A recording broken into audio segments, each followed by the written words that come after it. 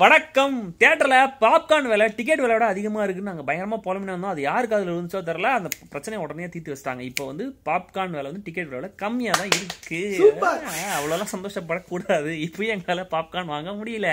ஏன்னா டிக்கெட் விலை அவ்வளோ அதிகமாக இருக்கு.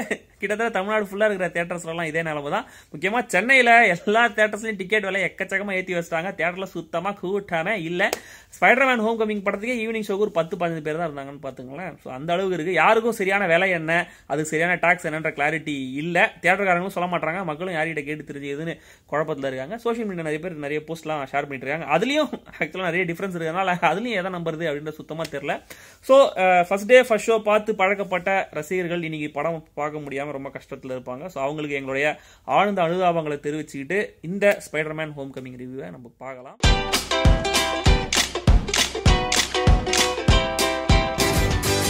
ஹீரோவா டாம் ஹாலண்ட் இருபத்தோரு வயசுல பதினஞ்சு வயசு பையனா நடிச்சிருக்காரு. அந்த கேரக்டருக்கு தேவையான எமோஷன்ஸ் ரொம்ப நல்லா போர்ட்ரே பண்ணியிருக்காரு. அந்த ஸ்பைடர்மேன் கதாபாத்திரத்தில் டீனேஜ் வயசுக்கே உண்டான அந்த ஃப்ரஸ்ட்ரேஷன் அந்த ஃப்ரெண்டு கிட்ட மாட்டிட்டு முடிகிறது தன்னோட லவ் இன்ட்ரெஸ்ட் கிட்ட பேச முடியாமல் அப்படி கூச்சப்படுறதுன்னு ஒரு புது டைமென்ஷனே கொடுத்துருக்காருன்னு சொல்லலாம்.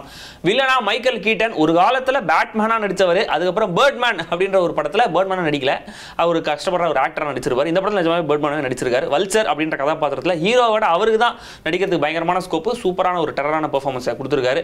ஹீரோட ஆண்டி ஹீரோட ஃப்ரெண்டு ஹீரோட லவ் இன்ட்ரெஸ்ட்னு படத்தை ஒரு பெர்ஃபெக்டான காஸ்டிங் இருக்காங்க இவங்களெல்லாம் விட படத்தில் கவனிக்க வைக்கிற இன்னொரு கேரக்டர் அந்த ஹீரோட ஃப்ரெண்ட்ஸ் கோஷ்டியில் மிஷல் அப்படின்ற கதாபாத்திரத்தில் வந்திருக்கிற ஒரு பொண்ணு அந்த பொண்ணுடைய கேரக்டர் ஆக்டிங் ரெண்டுமே சூப்பராக இருக்கு So, to become an Avenger, are there like trials or an interview? Do me a favor. Can't you just be a friendly neighborhood Spider-Man?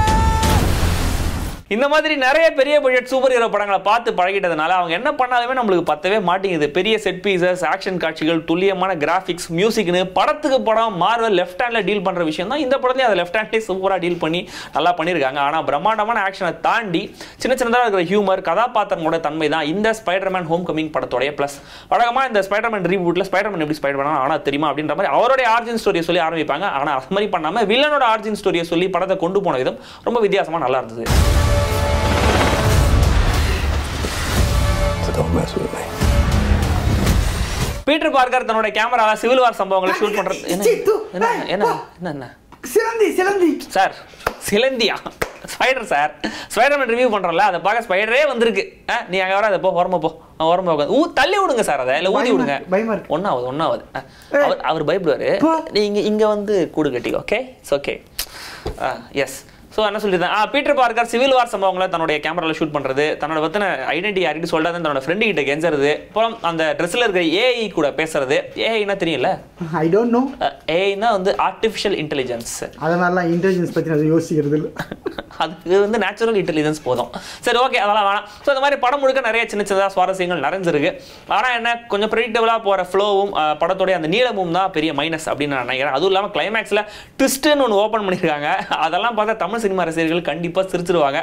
Sam Raimi direct பண்ண முதல் ரெண்டு பார்ட் அந்த ஸ்பைடர்மேன் கூட compare பண்ணும்போது இந்த பார்ட் கொஞ்சம் இன்ஃபீரியராக தான் தெரியும். ஏன்னா அந்த அளவுக்கு பரபரப்பு இந்த படத்தில் இல்லை. கொஞ்சம் ஸ்லோவாக தான் போகுது. What if somebody had died? I was just trying to be like you, I wanted you to be better. I'm gonna need the suit back. but I'm nothing without this suit. If you're nothing without this suit, then you shouldn't have it. இந்திய ஜனத்தொகை மாதிரி பெருகிட்டே வர Marvel cinematic யூனிவர்ஸில் ஒரு பக்காவான என்ட்ரின்னு சொல்ல முடியலனாலும் ஒரு நல்ல என்ட்ரி ப்ளஸ் ரீஎன்ட்ரி தான் இந்த ஸ்பைடர்மேன் ஹோம் கமிங் ட்ரெய்லர் பார்க்கும்போது கிடைச்ச ஃபன் கண்டிப்பாக படம் பார்க்கும்போது உங்களுக்கு கிடைக்கும் என்ன முன்னாடியே சொன்ன மாதிரி டாபி மகர் நடிச்ச அந்த முதல் ரெண்டு ஸ்பைடர்மேன் படங்களை மறந்துட்டு இந்த நியூ ஜென்ரேஷன் ஸ்பைடர்மேனை போய் பாருங்க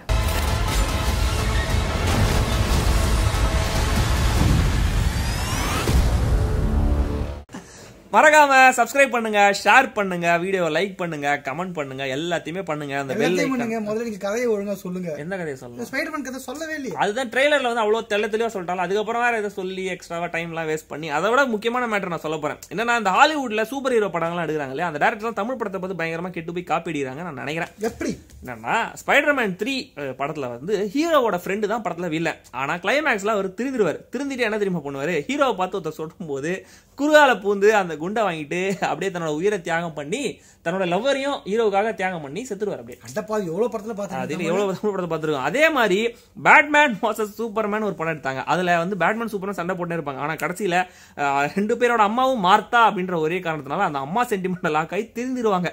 இதே எவ்வளவு படத்துல பார்த்திருப்பீங்க? இன்னைக்கு அந்த ஹோம் கமிங் படத்துல இந்த வில்ல யாருன்னு கேட்டீங்கன்னா ஐயோ சொன்னா ஸ்பாலர் ஆயிடுமே. ஸோ அதுவும் வந்து ஒரு தமிழ் பட ட்விஸ்ட் தான் அப்படின்னு வச்சுக்கோங்களேன். கார்த்தி விடக்கூடாது கார்த்தி. பழிக்கு பழி வாங்கி ஆகணுங்க. கரெக்ட் ஆனால் பழி வாங்கிட்டாங்க ஆல்ரெடி நம்ம யுவன் சங்கர் ராஜா பழி வாங்கிட்டாரு நம்ம எல்லாருக்கும் சேர்த்து. எப்படி? இதை கேளுங்க.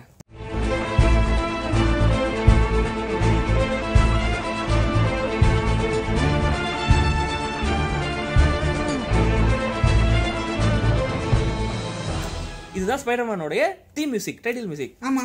இப்போ இதை கேளுங்க.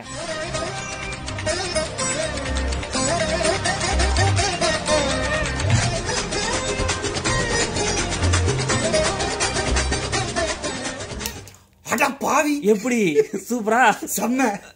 எப்படி? பயப்பிடிச்சிட்டான். எல்லாம் டெக்னாலஜி